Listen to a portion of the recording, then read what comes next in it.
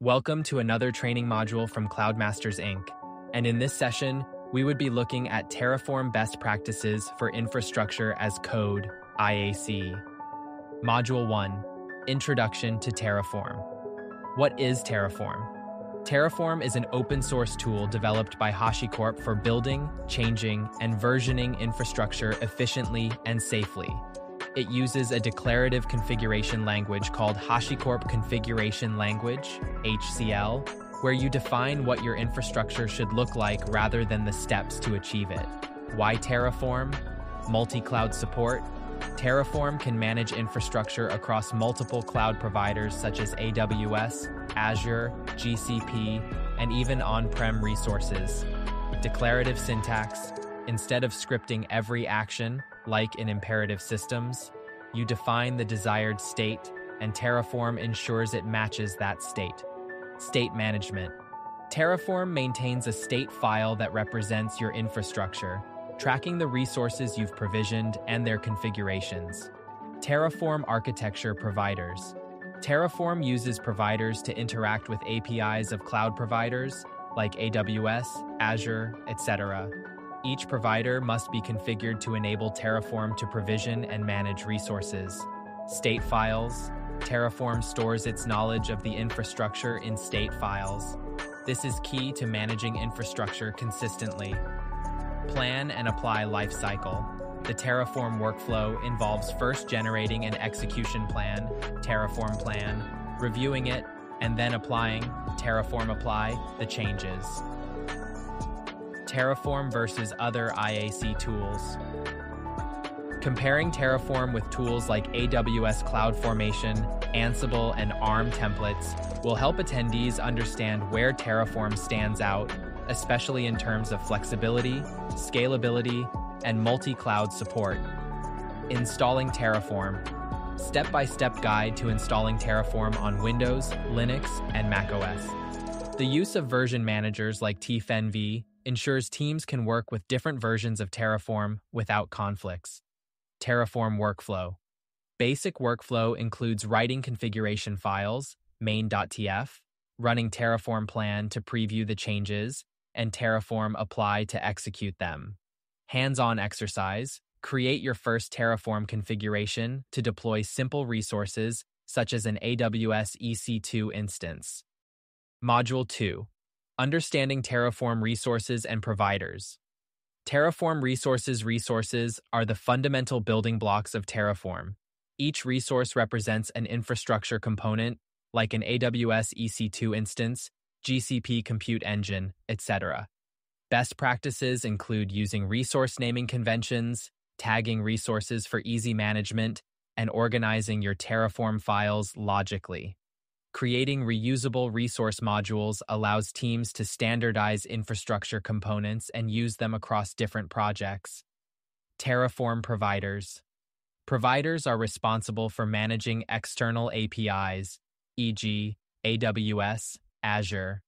Proper provider configuration is critical, especially when working with multiple accounts or regions. Aliasing providers allows for the creation of resources across multiple environments or cloud providers in a single configuration file. Modules and DRY principle Terraform encourages creating reusable modules. A module is a container for multiple resources that are used together. This practice adheres to the DRY, don't repeat yourself, principle, reducing repetition in your configuration. Hands on exercise. Create a module that provisions a virtual private cloud, VPC, EC2 instance, and other related resources. Module 3 Managing Terraform State Understanding. Terraform State Terraform keeps track of the deployed resources in a state file. The state allows Terraform to map real world resources to your configuration and keep track of metadata like resource dependencies.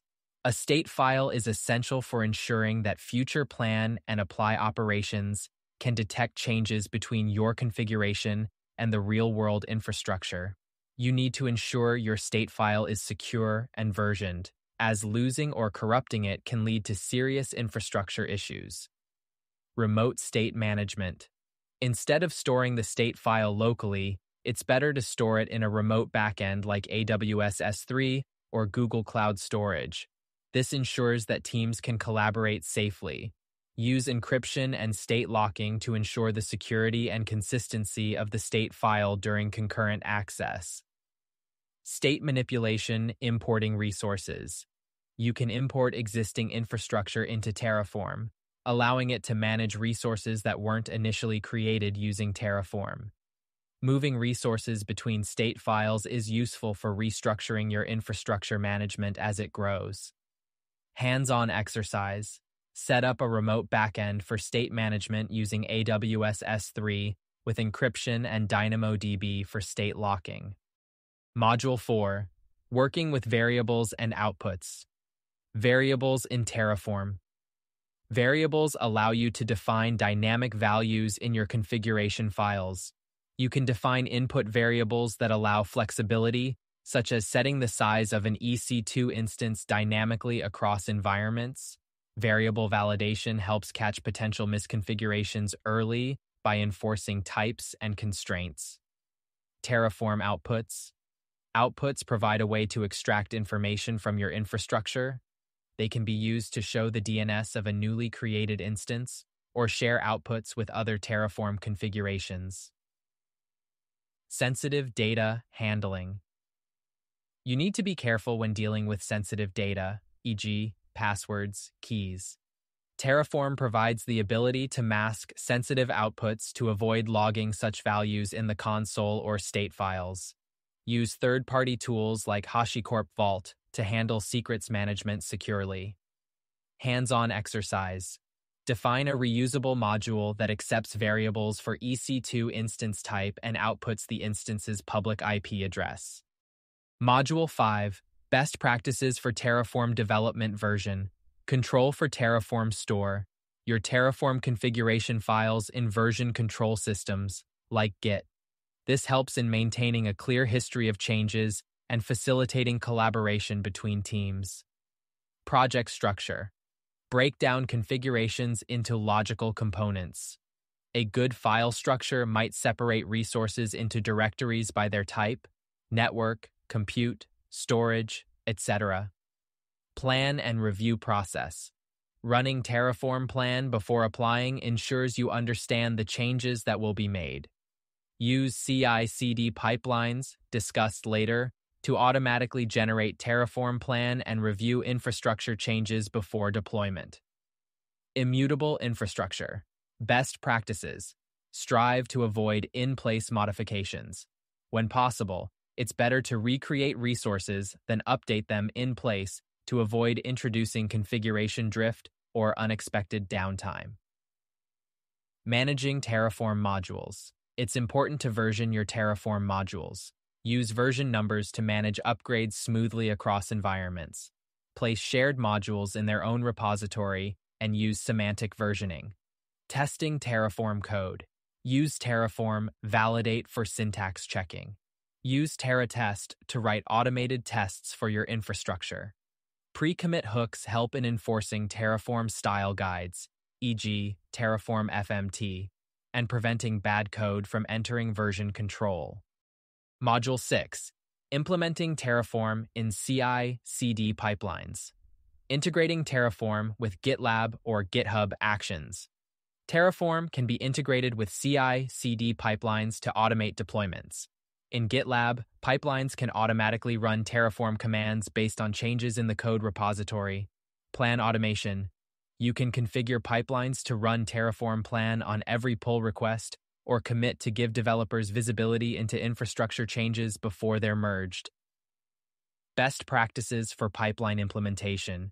Ensure that Terraform FMT, Terraform Validate, and Terraform Plan run as part of your pipeline. This ensures code is formatted, valid, and reviewed before being applied. Automating state management in pipelines also helps ensure the consistency and security of your Terraform workflow. Hands on exercise. Build a basic GitLab pipeline that triggers a Terraform plan on each pull request and deploys infrastructure changes after approval. Module 7 Advanced Terraform Concepts Managing Complex Infrastructure. As infrastructure becomes more complex, you will need to carefully manage dependencies between resources. Terraform's depends on directive allows for precise control over resource creation order. Using Terraform workspaces. Workspaces allow you to use a single configuration file for multiple environments, e.g., development, staging, production. Each workspace has its own state file, which means you can manage multiple isolated versions of your infrastructure. Terraform backends for collaboration. Shared state locking ensures multiple users aren't applying changes at the same time. When teams collaborate, this prevents race conditions and conflicts.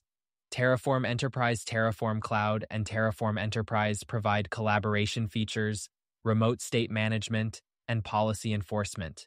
It's great for organizations that need to scale their Terraform workflows across large teams. Module 8 Security and Governance with Terraform. Security. Best practices apply the principle of least privilege when managing cloud infrastructure using Terraform. For example, ensure that IAM roles and policies are as restrictive as possible.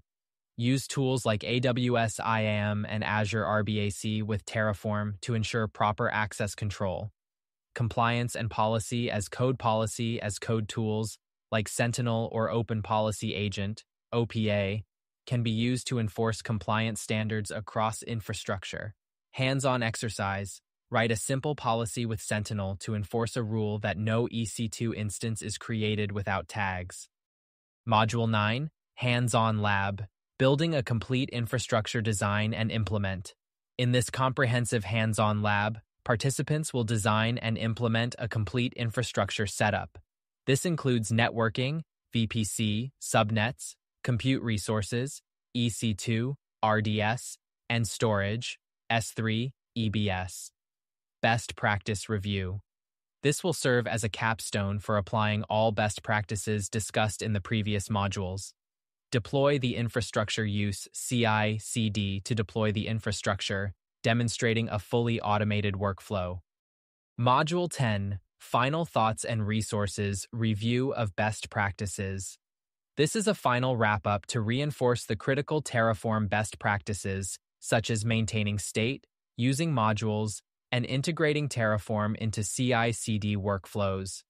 Additional tools and resources provide resources for further learning, such as HashiCorp's documentation, Terraform registry, and third party tools like Atlantis for automatic Terraform workflows, and TerraGrunt for managing Terraform configurations at scale.